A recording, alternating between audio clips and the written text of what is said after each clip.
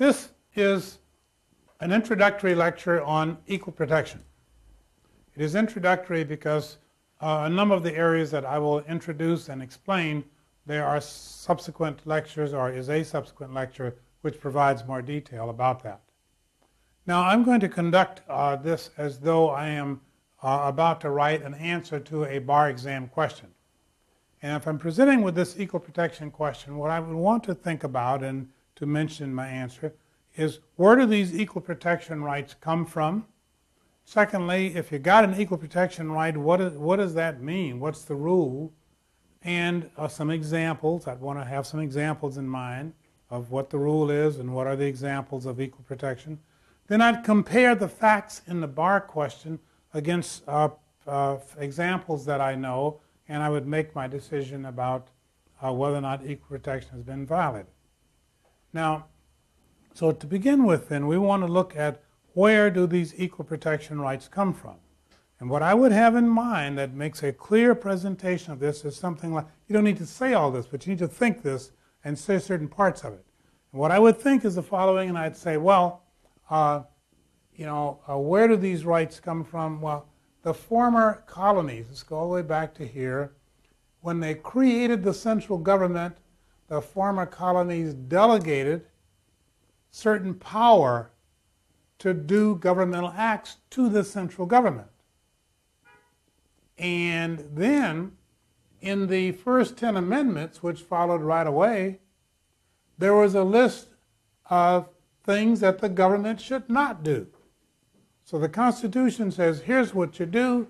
The first 10 amendments says, here's what you don't do. Let's take a look at those. First, the delegation of power to the government is in only six articles in the Constitution. So there are six articles. Article 1 says, legislative body, here's the stuff you can do. You can create armies, you can create navies, you can provide for copyright protection, you can regulate commerce among the several states, you can create a postal system, you can do all those kinds of things. Uh, this is in Article 1, Section 8, and there's about 18 of these here.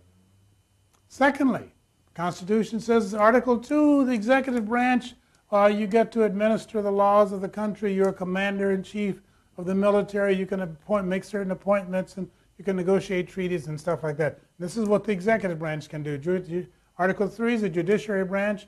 You resolve controversies. Article 4 is a relationship between the states. This is where you get your full faith and credit clause and the privilege and immunities clause of the Article 4. Uh, the uh, Article 5 is about how to amend the Constitution. And Article 6 is basically the Supremacy Clause. This is the entire Constitution. And so, since this is what the government is authorized to do, then anything that the government does must be a rational attempt to do one of these things and nothing else. Okay? If the government is trying to do something that isn't one of these things, it's acting beyond the authority that was given to it, and that violates substantive due process. Now, in these first 10 amendments to the Constitution that we call commonly called the Bill of Rights, uh, here's a list of things that the state says, you central government, you shall not do these things.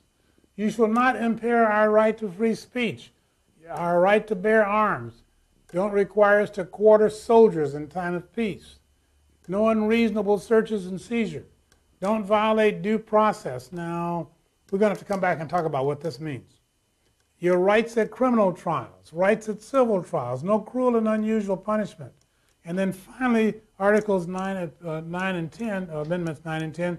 Amendments 9 says, uh, we gave you some stuff that you're not supposed to do, but we that this is not everything that you're not supposed to do. In other words, we retain some other rights. Now, they're not identified in the Constitution, but it says in Article 9 we retain some other rights, the citizen. And Article 10 says the states still have all the power that wasn't delegated to the federal government. And so this is the Constitution. The Constitution the First Amendment, and then comes the final ones that we care about for equal protection purposes, and that's Amendments 11 through 15. Amendment 11 says you cannot sue the state and federal court, and some qualifiers that come to that later on.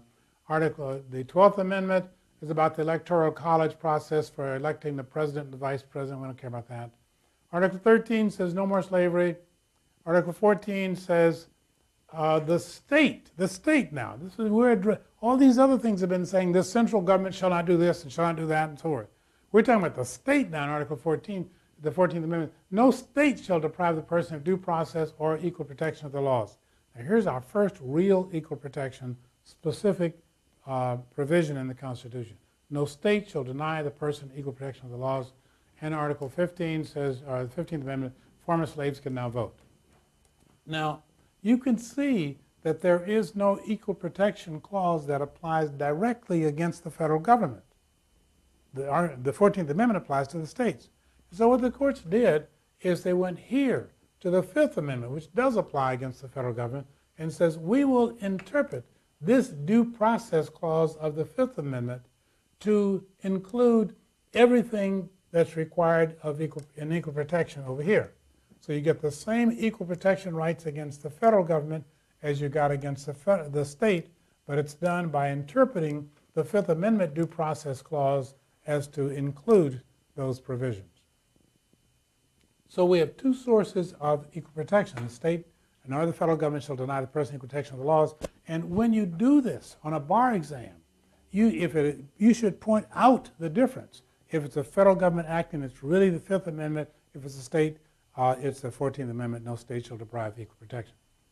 Now, also at this point, I might mention that this is also the time uh, when you would look at, you, you look at do we have state action and, and standing. The state action question comes up because the state shall not deprive you of equal protection, or the federal government shall not deprive you of equal protection. So whoever it is that deprives the person of equal protection, that person has got to be either this or some governmental body. And it's obviously a governmental body if you've got some employee of the government acting on behalf of the government. You have a police officer, you have a judge, you have a school teacher, public school teacher, you have a, a public, uh, the operator of the public elevator in a public, build, a public uh, office building of some sort anyone employed for the government acting on behalf of the government, of course, within the scope of their employment, that person is acting for the government, and so you have state action, no problem about that. The marginal cases of state action involve those cases where you know the company town, where the company's bought the whole town, and now when you go out on the sidewalks, well, uh, the court says since you own the town, you've got to treat the sidewalks like like people have their their First Amendment rights there, and so that's one kind of a, a borderline case of state action. And another one is where the state is so involved in the conduct that they treat it as though it's state action. It happened in the Wilmington parking lot case. Remember that the state uh, of Maryland was uh, was benefiting from uh, the restaurant. They had get sharing in the profits from the restaurant, but the restaurant was discriminating, and the court treat that as state action because the state was so involved in the activities of the restaurant that uh, their conduct was state action. On the other hand, the mere fact that someone gave someone a license to cut hair, that person's cutting hair is not state action. So issuing a license isn't, but being intimately involved and um, and the company town cases, other than that, uh, state. So so do you have state action? And uh, be sure that it is uh, either the state or the federal government that's doing the acting. Then you look to standing. Is this person who is suing the one who's really injured? And there you get the issues of does this person have standing, you know, the, the, the injury in fact, the causation and, uh, and redressability. And then you look for third party standing, you look for associational standing. So does the person who's suing have standing? Is the defendant that you're suing either the state or the federal government? We point out these two places where it came from. And then this is also a good time to deal with stuff like ripeness and mootness. Uh, have you waited too long so that the case is moot? Have you waited not long enough so the facts haven't developed so it isn't ripe yet? Abstention doctrine, uh, where you may have to wait for a state court to resolve certain issues before you can proceed in federal court. And the adequate and independent state grounds cases where the case has already been discovered, determined, the case was determined on adequate independent state grounds, in which case there'd be nothing for the Supreme Court to review. So these, these procedural issues that might keep you from getting into the federal court uh, this is a good time to discuss them. But the standing and state action, you have to discuss them. Here's where you get your state action from. You get your standing the way we talked about. So if you have standing and state action, there's no other reason not to get in federal court. And the next question becomes, uh, these people say uh, are claiming that their equal protection rights were violated. So how do we decide that? What what what you know what is the rule for deciding for determining whether or not someone's equal protection rights were violated. Well, let's take a look at that.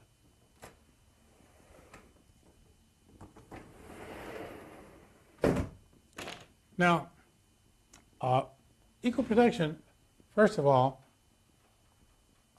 uh, means that people who are similarly situated with respect to the purpose of a statute must be treated equally. And what do we mean by this? This is a very important term. Similarly situated is a term of art in the world of equal protection, so you need to use it if you can. Now, let us suppose, to, in order to clarify this, let's suppose that uh, two cars are driving down the street and they're both driving 25 miles an hour in a 30 mile zone and they're driving equally identically to each other, equally carefully, etc. And and now neither of these people is violating the law. So with so these people people are similarly situated with respect to the purpose of your law. The purpose is safety. Don't speed. It's a 30 mile zone. So the purpose is safety. And these two people driving 25 miles an hour are equally safe are similarly situated with regard to safety. There's no treating them differently won't advance safety at all. So they're similarly situated with regard to safety. That's what we mean by this term. So the basic rule of, of equal protection is that those who are similarly situated with respect to the purpose of a law must be treated equally. Secondly, what about the people who are not similarly situated with respect to the purpose of the law? For example, let's suppose that one of these cars in my hypothetical is driving at 35 miles an hour, the other one is driving at 25 miles an hour. And so they are not similarly situated with respect to the purpose, which is safety.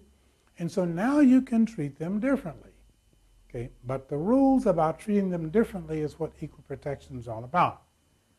And the rule is that you can treat them differently since they're not similarly situated with respect to the purpose of the law, which is safety. You can treat them differently. But the classification scheme must be a rational way to promote safety. So what's this classification scheme? Well, let me tell you what it is. The classification scheme is always the criteria that you used for classifying people. In my case, you're driving over 30 miles an hour or not. One person driving over 30, one driving under 30. That's my criteria. So the criteria and the treatment. What do I do to the person who's driving over 30? So what's the criteria? Don't drive over 30. And what's what am I going to do to the person? Some kind of fine or something. And that's your classification scheme. What criteria do you use to classify the people, and what do you do the ones that did what the losers, the ones that did what you didn't want them to do? That's your classification scheme. That combination of things how you select the people and what you're going to do to them has to be a rational way to promote the purpose of the law. Now remember, if this is a federal law, the only possible purposes that federal laws can have are those uh, that are listed in the Constitution, we told you about. The only possible purpose, the only legal, only legitimate purposes of state laws are to promote health, welfare, safety, or morals. That's the police power.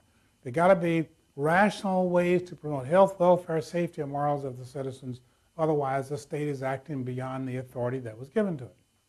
And so, the uh, uh, if someone, uh, so the law has a has a purpose to promoting safety or something. In my case, criteria was how fast were they going, above or below the speed limit. What are we going to do to them? And a combination of things. We're going to penalize the person who's driving over 30, and that's a rational way to get people to drive safer.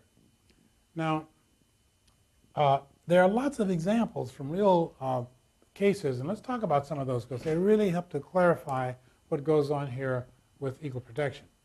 Take the case of the truck ads. This is a New York case, and this is a case where the city of New York says, look, you know, we got all of these companies that are hiring people who've got trucks to put signs about their company, advertising their company on their truck.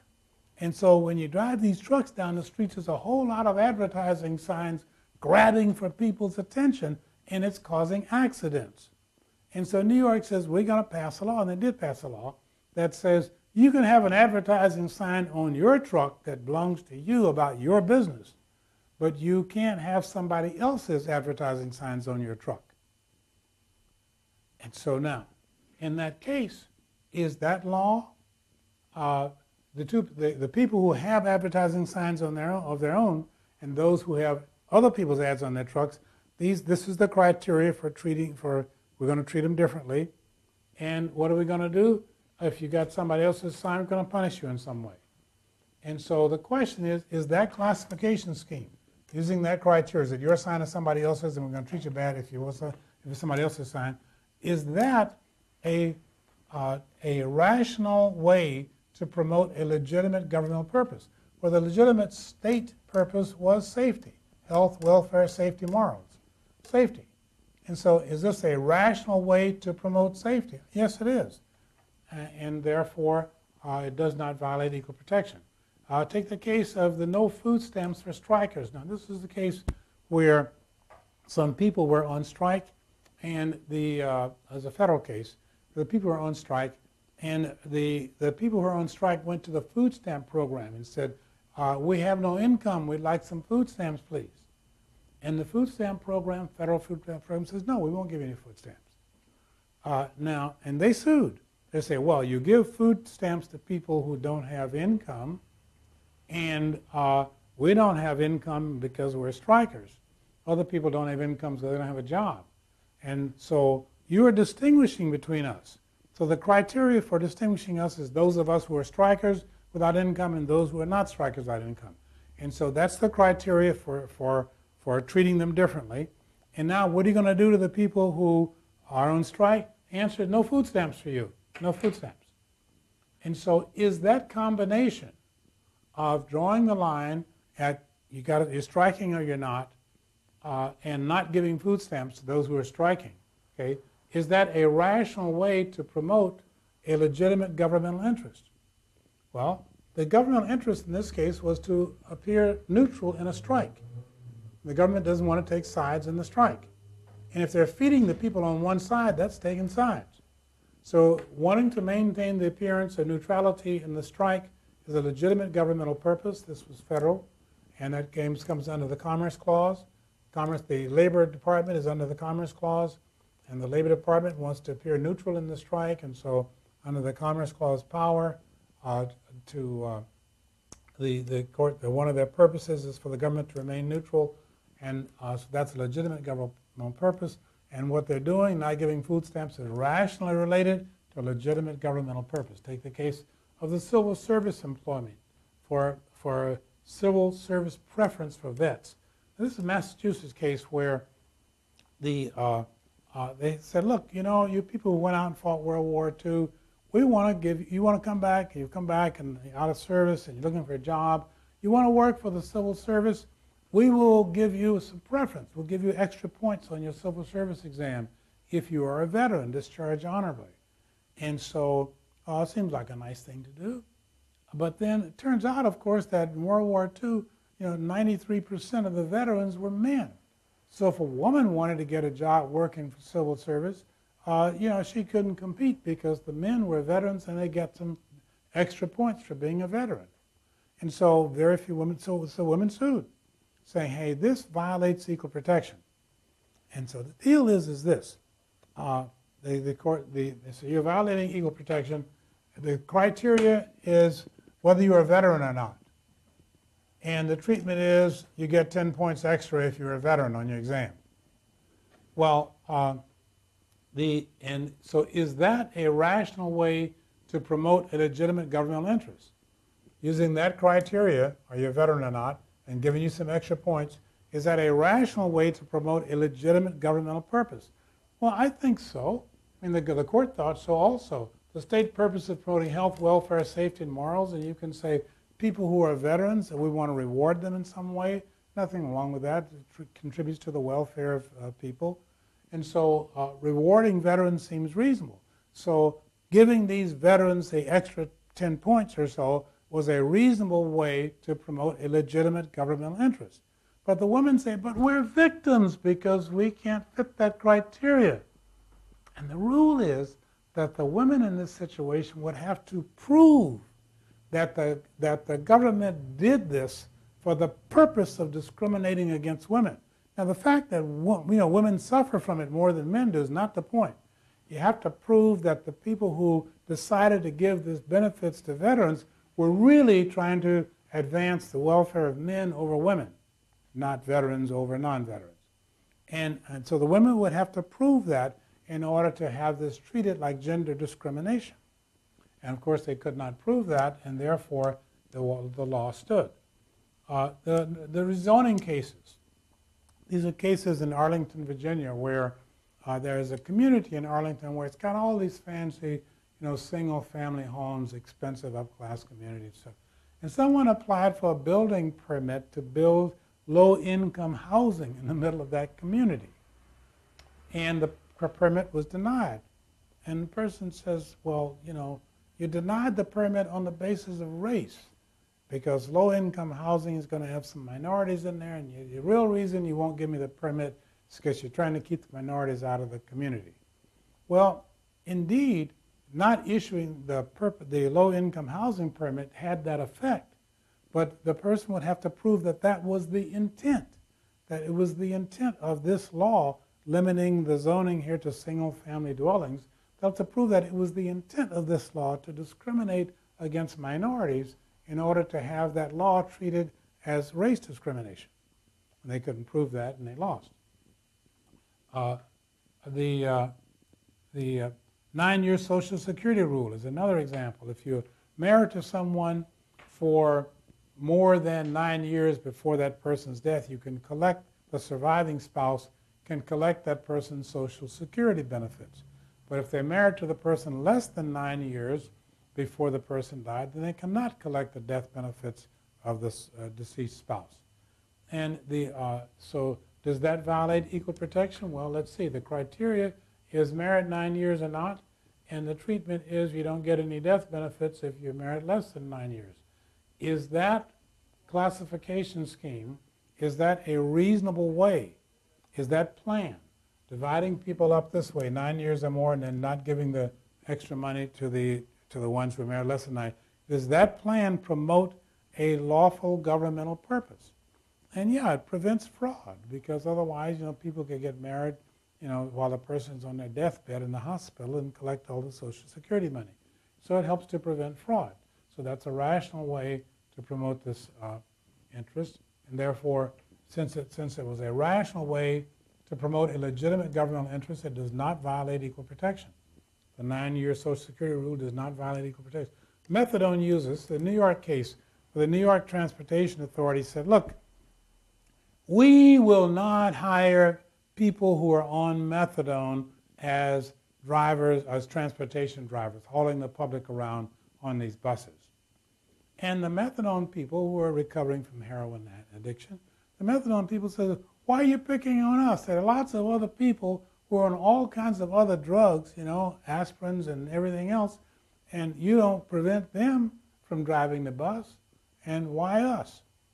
And New York said, well, uh, not allowing methadone users, the classification scheme is you're either methadone user or not, and what we're going to do to you is we're not going to give you a license. Now, does that combination of if you're a methadone user and we don't give you a license, does that promote uh, a legitimate governmental purpose? The answer is safety, and it does promote a legitimate governmental purpose, and therefore this classification scheme of dividing people up this way and treating them this way, that classification scheme does not violate equal protection. Uh, here's an example. There was, Illinois had a rule that said, you know, if you are a disabled person and you make a claim for some disability benefits, uh, and if we, the state of Illinois, if we don't process your claim within 120 days, your claim is void. Now, you heard me right.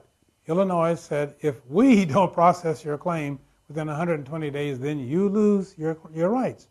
And obviously, I mean, that is not, that rule is not rationally related to any governmental purpose. And so that's an example of a rule which simply was not even rational. Now, you've seen a number of classification schemes. You've seen a classification scheme where the criteria was uh, does the sign on the truck about your business or somebody else's? Are you a striker that wants food stamps or you're not a striker? Uh, are, are we the, the nine year rule for Social Security? Were you married nine years or not? Are you on methadone or not? In the case of rezoning, are you applying for a permit for a single family or a low-income house multifamily dwelling, and we won't give you one of them, and we'll give you the other. But as long as the state has a rational reason and uh, for, it doesn't violate equal protection, unless the people can successfully claim that the alleged rational reason for not giving this person the permit for multifamily uh, dwelling in this single family area, the main reason was racism. The main reason was was really uh, they're dividing people on the basis of race and they're just using the zoning kind of like a code word. But the person who claims that has got to prove it. If you can't prove that, then the state only has to show that they have a rational reason for not giving this person the permit to build multifamily dwelling. Same thing with civil service. The state had a rational reason for giving vets uh, benefits, and it happened to fall, the burden fall, fell heavily on women, but unless the women can prove that the state did that with the intent to uh, discriminate against them, then uh, the, you will not be able to use the gender standards. So we've seen this now. So we've got all these reasons as to how to form classification schemes. And what about this one? Uh, gender. If you're male, then we'll do one thing for you, and if you're female, you do something else. And of course, says, now wait a minute. We've, we've used lots of criteria along here striker, not striker, whose ads are on your truck, how long you've been married. But whether you're male or female, how about using that for a criteria? And of course, now wait a minute, wait a minute. We've had some bad experiences with people using male and female for the criteria. We end up with situations where the women get less paid for the same work and, and they don't get the promotions and they don't get hired and on and on and on. And so if you're going to treat males one way and females another, then the, the court says, then you know, we're going to look very closely at what you're doing to be sure that, that you're not just carrying out that old stereotype. And so if your gender is going to be the standard, the criteria that you use, then the government must be trying to achieve an important governmental purpose, not just a legal one, but an important one. And an important one can be named as a substantial governmental purpose, a significant governmental purpose, an important governmental purpose. They all mean the same thing. And the law that you're, you're uh, applying must be closely fitted to achieve that purpose or substantially related to achieving that purpose, significantly related. So it's a much tighter fit required to an important governmental purpose if you're going to divide by gender. And now, if you have a rule that says we're going to treat women this way and men that way, you're obviously dividing by gender. But if you have a rule that says we're going to treat vets this way and non vets this other way, well, it doesn't say you're dividing by gender, but it may amount to that. But in those situations, the women would have to prove that this vet uh, benefit was really just kind of a code word for discriminating against women. And they have the burden of proving that with the preponderance of the evidence. So if you use gender for the criteria, then uh, these are the higher standards. If you use race for the criteria or national origin for the criteria, then the standards are even higher. What the state is doing must the state must have a compelling interest in that, and no other way of doing it necessary to achieve a compelling governmental interest. And there aren't very many places where that works anymore. One of the few places might be in prisons where you have race riots going on frequently, and if you you know bet somebody down in the wrong group, they might get killed.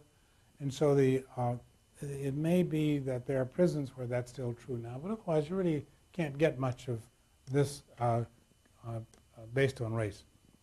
Finally, there is one other case where strict scrutiny is applied. This compelling, necessary to achieve a compelling governmental interest is called strict scrutiny. And there another set of cases where strict scrutiny applies, and they come from a kind of different source. I have them listed here, voting, travel, access to courts, and the explicitly fundamental rights, but I listed them over here so you can see them more easily voting, travel, access to courts, and the explicit fundamental rights. Now, what's going on here is we're going to apply strict scrutiny, but we're going to do it for a different reason. In the past, we've applied strict scrutiny when the classification criteria was race, uh, when the classification criteria was alienage. But remember, the classification scheme involves two parts. What is your criteria for classifying people, And second, what are you going to do to the people once you classify them? And so if you classify people by race, strict scrutiny. You classify them by gender, uh, intermediate scrutiny. If you classify them any other way, rational basis on the classification part. What about the part of what are you going to do to people after you classify them? And if you're going to diminish their vote, then strict scrutiny is going to apply because voting is a fundamental right. And so if you, for example, gerrymander some districts in such a way that you had one district that was large enough to, uh, large, one, one district of minorities that was large enough so that uh, this district could put one person on the city council, uh, you know, if they kind of voted as a unit.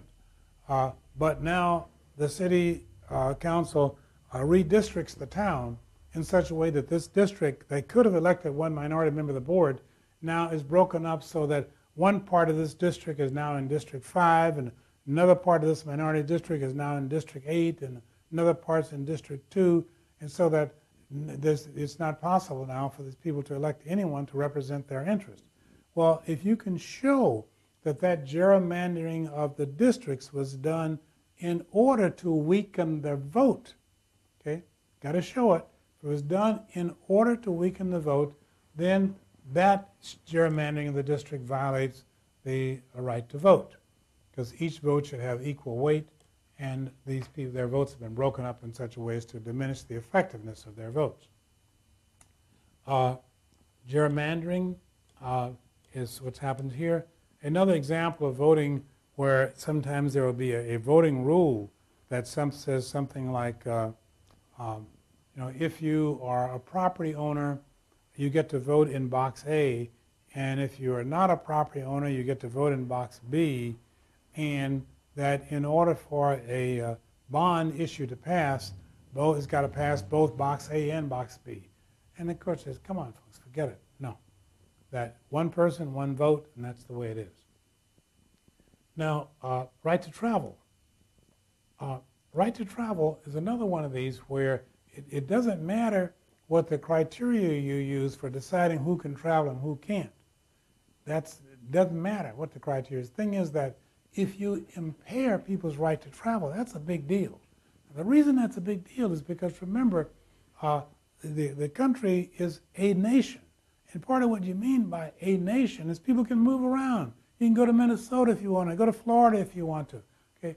Well, if you're poor and you want to move to Florida and they tell you in Florida, well, don't come here because when you get here, you can't get any welfare for the first year, even no matter how hard you're trying to get a job and all that, what a good upstanding citizen you are. You can't get any welfare, and you can't get your children any free medical care for the first year. So that's like Florida saying, don't come here, or Montana saying, don't come here.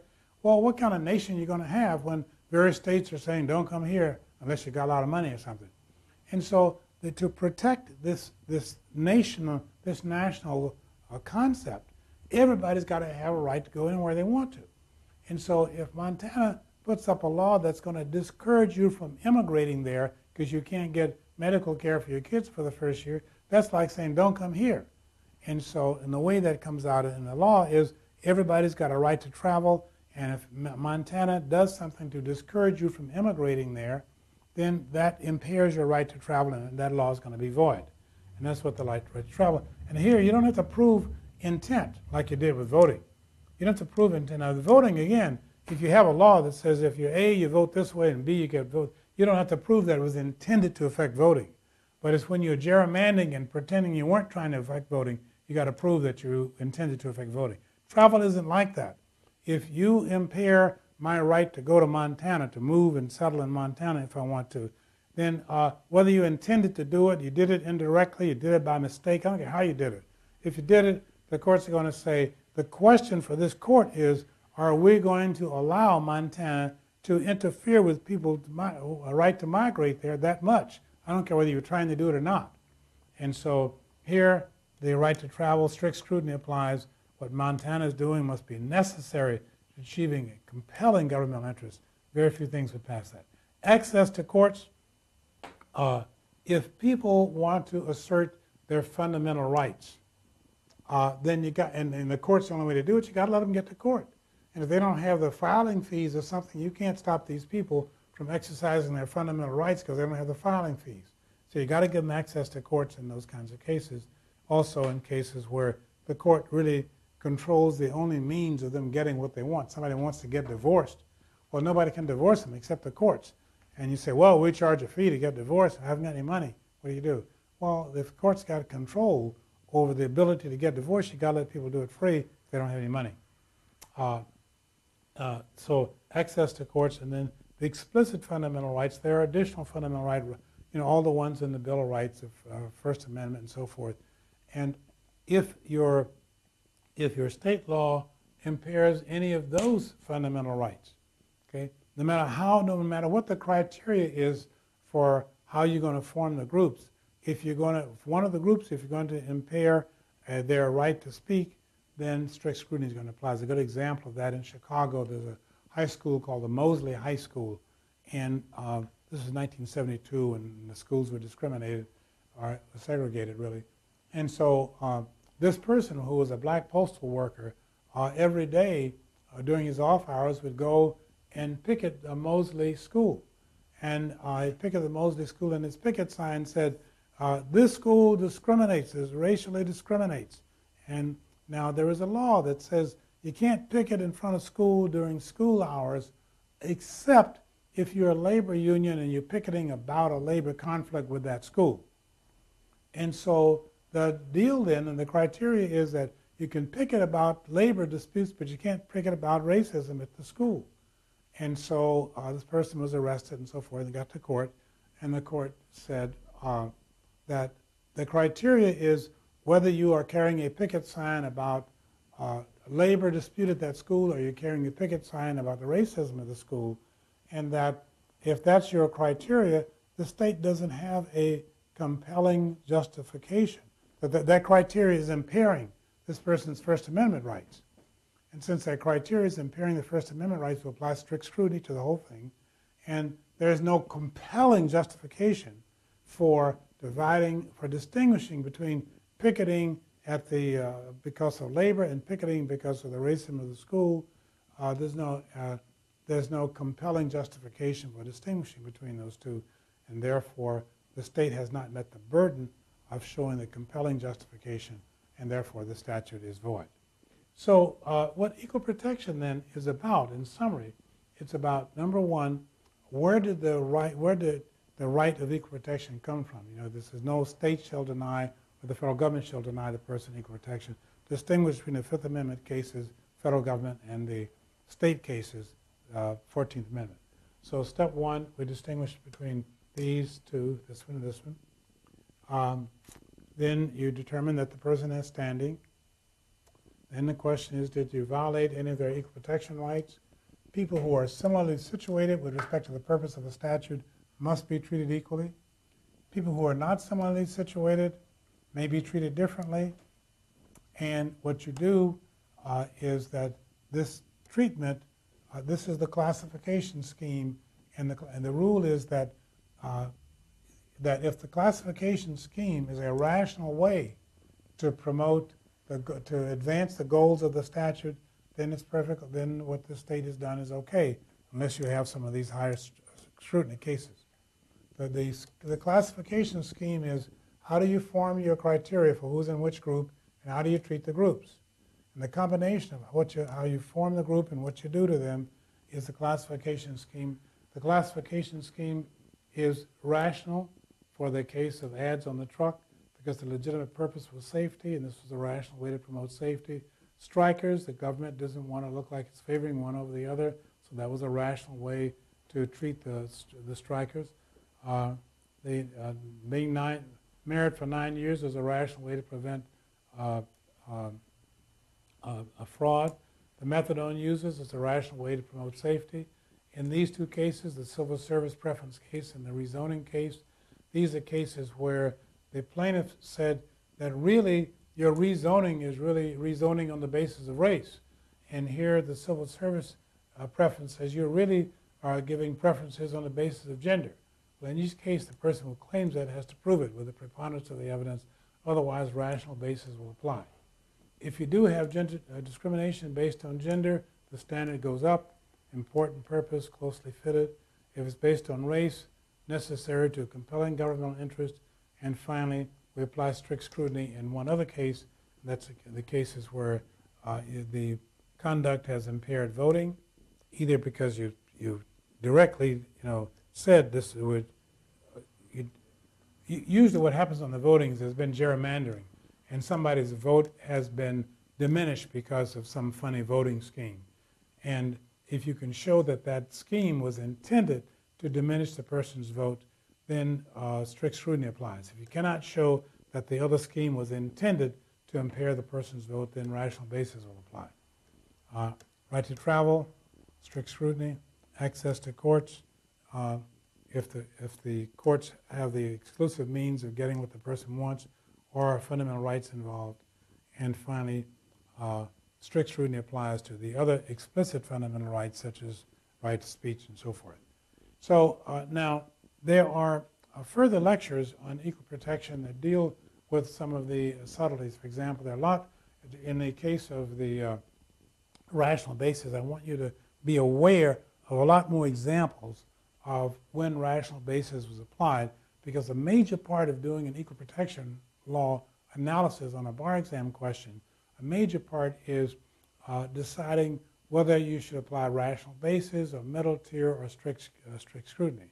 It's very important uh, that you make the arguments as to why you're picking one, one or the other. Then you might even have to do both if it isn't perfectly clear which standard you should pick.